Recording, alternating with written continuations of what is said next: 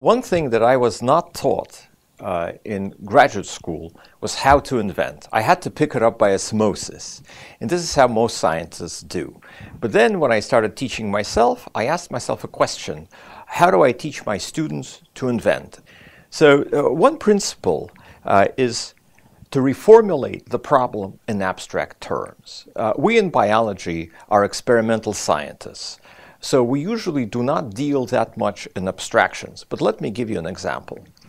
In 1950, Chargaff uh, disassembled the DNA uh, and wanted to understand its structure. And he came up with what was known then and now as the Chargaff rule. So the amount of uh, C or cytosines is equivalent to the amount of G uh, nucleotides. The amount of A is equivalent to amount of T. So this is GCAT Chargaff rule. So from that rule, then, it took the entire community three years and Watson and Crick to actually see the crystal of DNA to come up with the double-stranded helix structure. Now, I presented that problem in abstract terms to an, uh, uh, a class I was teaching as a volunteer in a high school, and the kids did not know the structure of DNA. And I told them, uh, let us uh, solve a problem. Here you have four elements. We'll call one A, the other T, the third G, uh, the fourth C, and here's the Chargaff rule. A equals T, G equals C.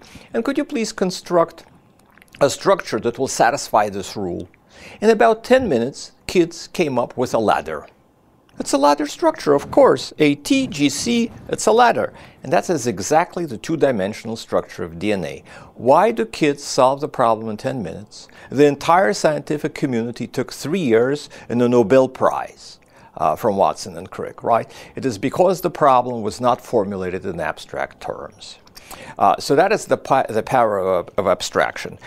In my field, uh, which is antimicrobial discovery and microbiology, uh, I would like to give you another example to illustrate this point, uh, and that is the history and the practice of drug resistance. Uh, so resistance to antibiotics is an enormous problem pathogens resistant to antibiotics rise and spread uh, and threaten our way of, of life.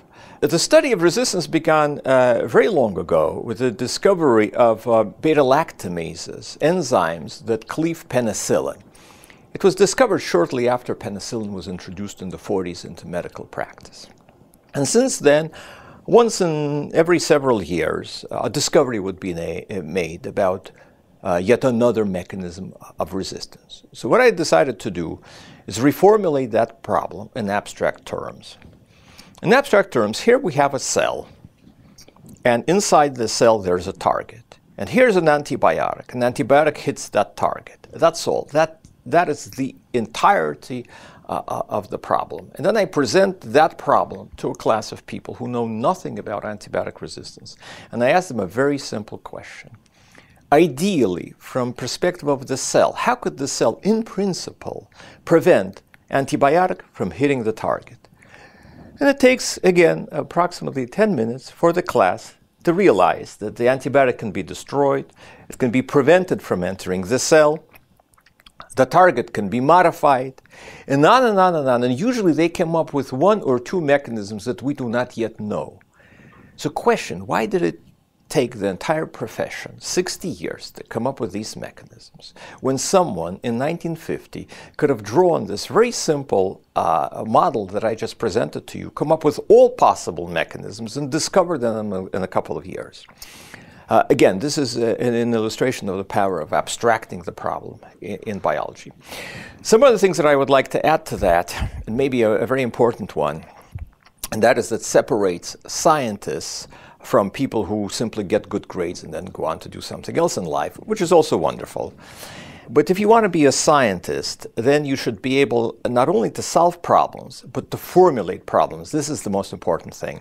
How to formulate a winning project, how to recognize a problem for what it is and formulate it. Uh, that is very important.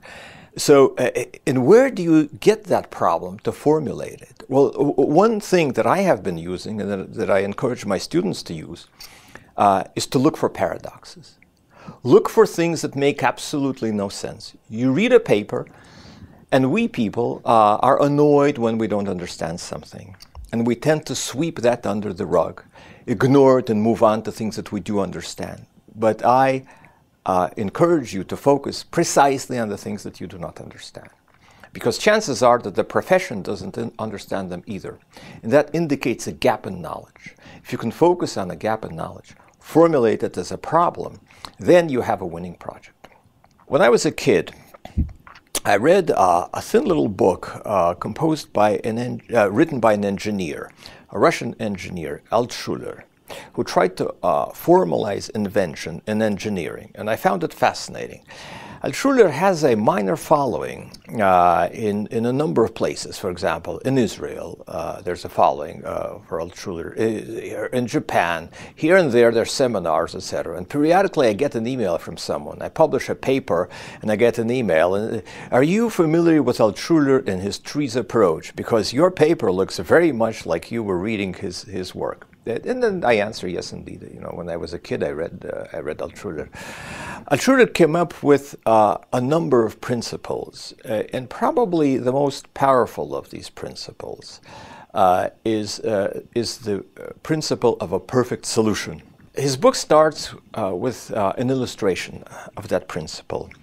The basic idea is not to worry about how you are going to implement an invention uh, formulate what you want, not how you're going to get there, and then worry about how you're going to get there. So here was Altshuler's example. Uh, he said, so, so here's this uh, plant uh, which produces cold. It's a plant with refrigerators connected to each other, uh, with a myriad of tubings, and cold is the product of that plant, liquid nitrogen or whatnot. And of course, periodically there will be a leak in the tubing so the question is how to identify the leak perfectly. And the traditional approach was to go around and to examine each and every tube and each and every crack and find the leak. And that was, of course, enormously laborious. Here's Altshuler's perfect solution. The only thing that you would like to see is the leak. All right? And it sounds wonderfully absurd. The plant disappears. The only thing that you see is the leak.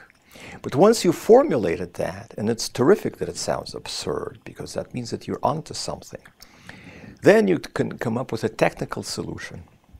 You can then say, okay, uh, what is it uh, that uh, you can see when you do not see anything else? Well, that's something that fluoresces.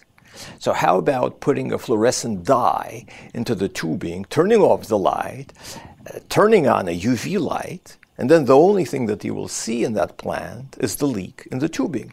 And that is exactly how uh, these days leaks are determined in the refrigerator plants. I thought that was fascinating.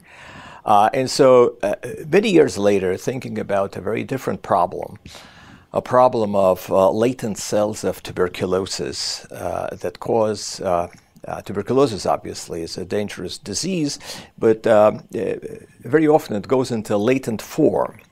Uh, there are no symptoms, but if a person gets immunocompromised by, for example, contracting HIV, then the tuberculosis comes back. So it was hiding somewhere in the latent form. We know absolutely nothing about these cells. We don't know how, how many of them they are, where they are hiding, or how to study them. Uh, and so uh, I was thinking that ideally we could, uh, of course, model that in a mouse. The mouse also has latent infection. And we can use cells labeled with a fluorescent protein, green fluorescent protein.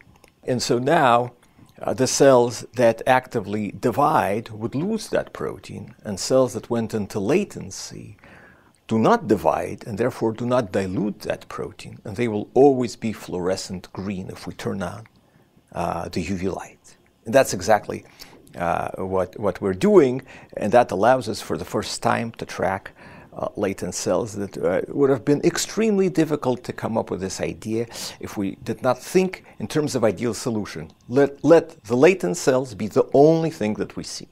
And then uh, I also realized that we can invert Altshuler's uh, principle because he, of course, was an engineer and he worried about you know building bridges and such.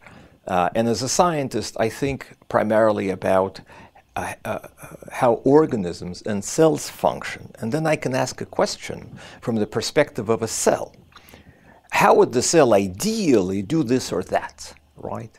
Uh, and, and that is how, for example, one can envision uh, each and every mechanism that the cell uses to protect itself from antibiotics. So these are some of the principles that I teach uh, in my classes, and, and of course uh, it would be great uh, if this kind of approach spread. Uh, and I hope that uh, one of the things that will happen as a result uh, of this recording is that it will spread. And this is one of the advantages, I think, of, of what is being done in this program.